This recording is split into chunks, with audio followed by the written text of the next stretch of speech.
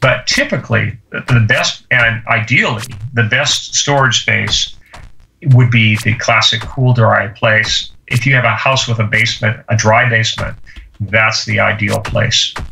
Yeah, and I know a lot of people think MREs are the first go to, but those don't last very long, contrary to popular belief. And also, they're they're fairly bulky in terms of the way because they're packaged with you, you know utensils and an MRE heater and toilet paper and all the little accessory items.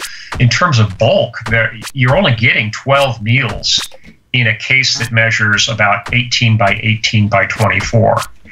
So that's a fairly bulky way of storing food. They are handy in that they don't require any cooking, but there's just so many drawbacks. Uh, your your your per unit cost or per meal cost is also quite high. They're fantastic for you know someone who's in a military field